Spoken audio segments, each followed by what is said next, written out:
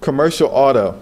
Um, auto li- is pretty much auto liability coverage, and it's required by all the states. The District of Columbia requires all of their autos to have coverage, and it covers medical expenses of injured um, persons, damages to other property, and commercial auto typically have higher limits. And and what I like to um, say about commercial auto um, is most of the big companies the Federal, Federal Expresses and others who have a tremendous amount of, of trucks or fleets, they have a self-insured program, and the self-insured program is being uh, monitored by the, our Department of Motor Vehicles.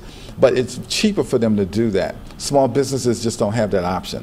So what small businesses have been doing is um, going out to insurance companies to buy it, and it's very, very uh, expensive in, in, in, that kind of context. But you have to shop around, similar to what they said about the business liability insurance coverage. Factors determining commercial versus um, per, um, personal auto insurance, who owns or leases the vehicle, and who drives the vehicle. And when you have commercial coverages, what they require, the insurance companies require you to do is list all your drivers, provide all of the information on your drivers, their driver's license, how long they're going to be driving, what's the, what's the radius of their driving um, process. Because if you have an individual that's supposed to be driving a car in Washington, D.C. area, and he's in New York, they won't pay for it, and they just won't pay for that particular claim.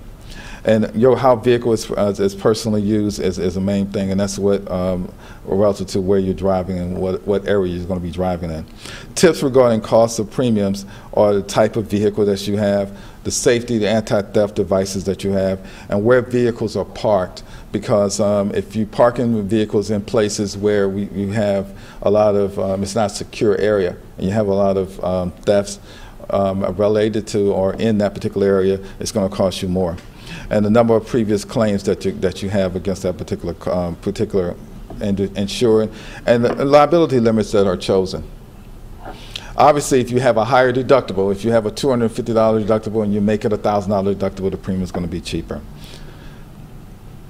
Special considerations are uh, relative to this is business owns the businesses own the vehicle. You need to, and this is what I mentioned before. You need to list the name of as uh, list the name as insured, but you got to list the drivers as well.